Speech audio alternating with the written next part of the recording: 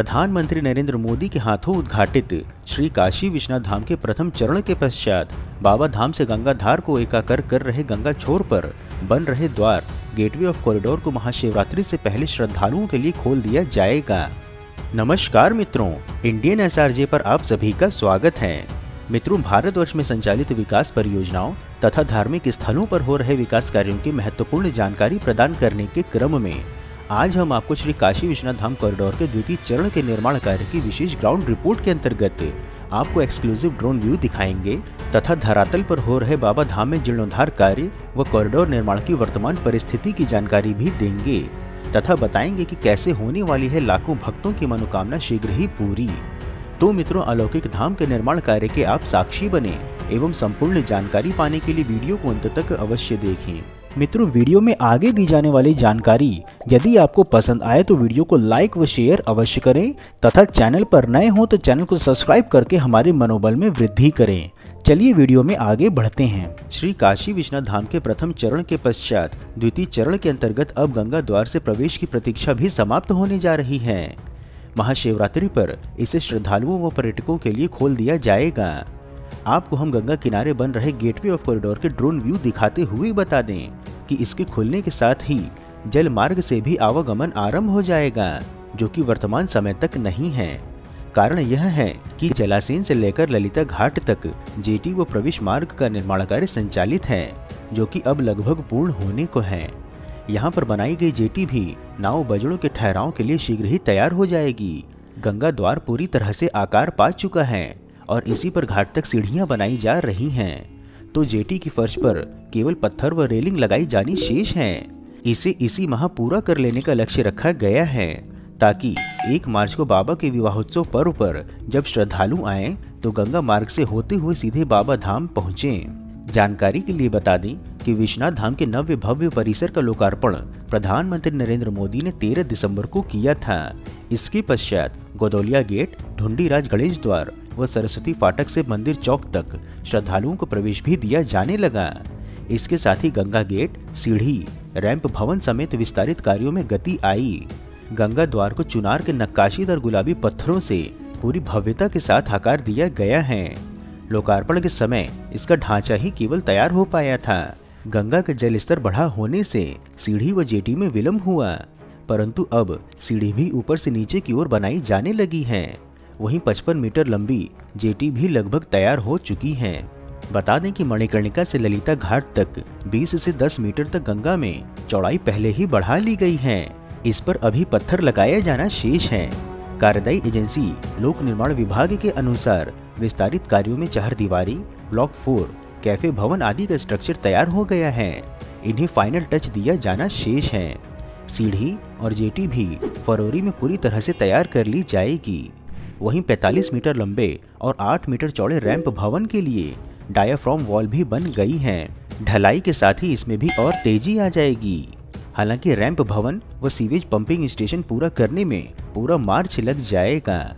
अर्थात गंगा द्वार में बाधा स्वरूप दिख रहे पंपिंग स्टेशन को हटने में अभी एक माह और शेष है।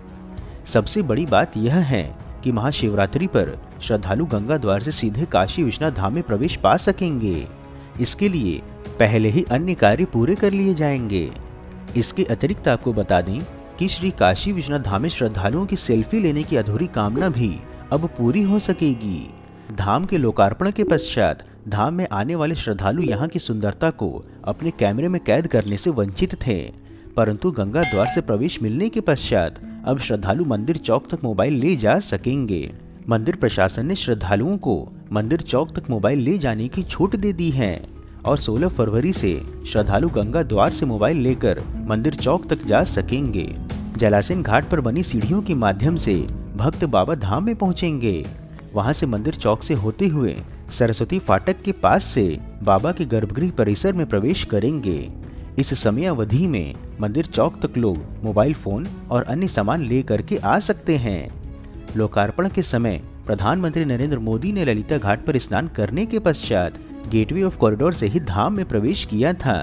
पीएम मोदी ने लोकार्पण के पश्चात लोगों को संबोधित किया था। श्रमिकों पर फूलों की वर्षा की थी और उनके साथ सेल्फी ली थी।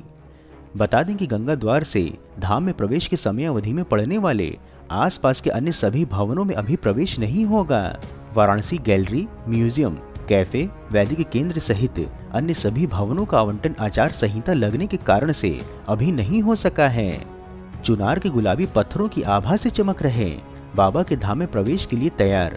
गंगा द्वार घाट अब नए आकर्षण का केंद्र बन चुका है।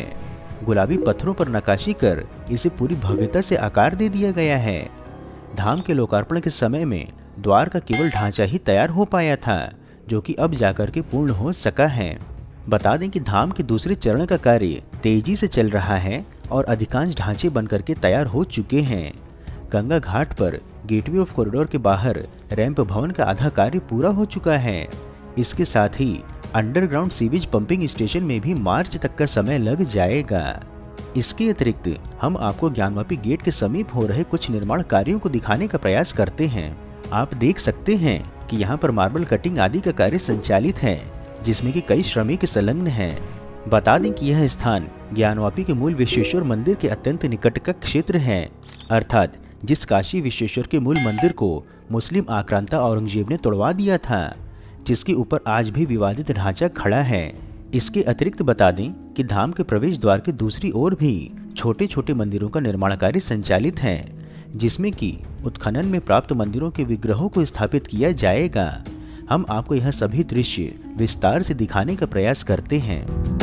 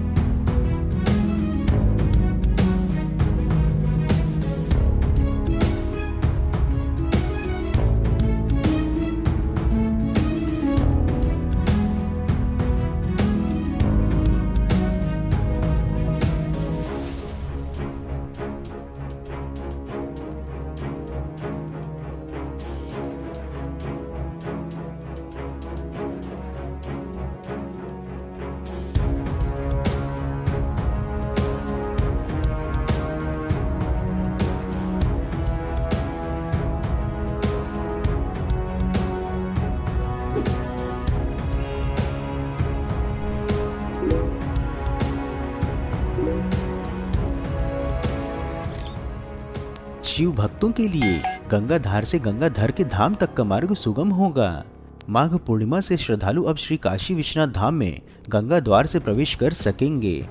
मंदिर प्रशासन और कार्यदायी संस्था ने गेटवे ऑफ़ कॉरिडोर को 16 फरवरी से खोलने की तैयारियाँ तेज कर दी हैं। इसके साथ ही गंगा की धारा से बाबा के धाम का सीधा मार्ग भी खुल जाएगा। श्रद्धालु जलासीन घाट पर बनी सीढ़ियों के माध्यम से धाम में प्रवेश कर सकेंगे मंदिर चौक से होते हुए सरस्वती फाटक पर सुरक्षा जाँच के पश्चात श्रद्धालुओं को गर्भगृह में प्रवेश की अनुमति होगी। वर्तमान में गंगा तट से मंदिर चौक तक अभी केवल आने जाने के लिए ही मार्ग खोला जाएगा।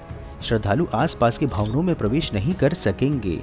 घाट से मंदिर चौक तक श्रद्धालु अपना सामान, मोबाइल व कैमरा ले जा सकेंगे। मोबाइल व कैमरा रखने के लिए गंगा द्वार से चौक तक अलग अलग स्थानों पर व्यवस्था किया जाएगा। मंदिर चौक से भक्त सरस्वती फाटक पर जाँच कराने के पश्चात मंदिर में प्रवेश करेंगे और दर्शन के पश्चात मंदिर परिसर के पूर्वी गेट से बाहर निकलेंगे। प्रधानमंत्री नरेंद्र मोदी के ड्रीम प्रोजेक्ट श्री काशी विश्वनाथ धाम के लोकार्पण के पश्चात यहाँ आने वाले श्रद्धालुओं की संख्या में भारी बढ़ोतरी हुई है। मंदिर के बाहर ही मोबाइल फ़ोन जमा करा लेने के कारण से यहाँ की सुंदरता को कैद करने और सेल्फी की कामना पूरी नहीं हो पा रही थी। इस कारण से अब मंदिर प्रशासन ने मंदिर चौक तक मोबाइल फ़ोन ले जाने की छूट दे दी है। 16 फरवरी से गंगा द्वार से श्रद्धालुओं का प्रवेश आरंभ हो जाएगा।